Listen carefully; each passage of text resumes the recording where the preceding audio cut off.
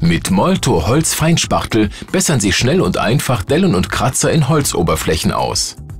Molto Holzfeinspachtel ist für alle Holzsorten im Innen- und Außenbereich geeignet.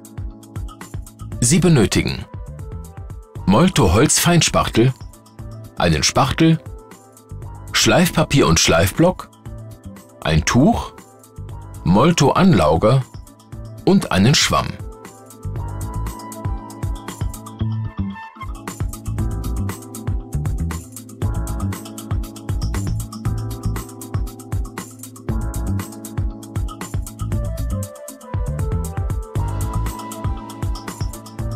Lose Teile entfernen.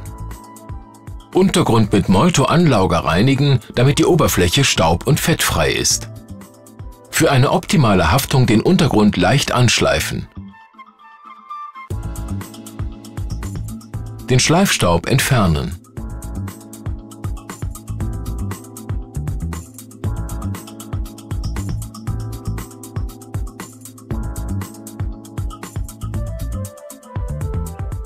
Molto Holzfeinspachtel mit einem Spachtel in einer maximalen Schichtdicke von 1 mm auftragen und glätten. Molto Holzfeinspachtel ist schnell trocknend.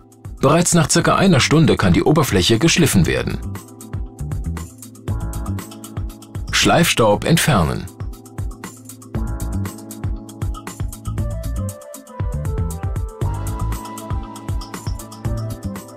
Zum Schluss kann die Fläche in jeder beliebigen Farbe lackiert werden.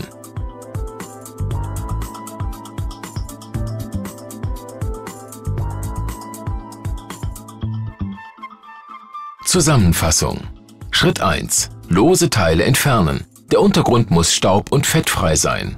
Schritt 2. Untergrund leicht anschleifen.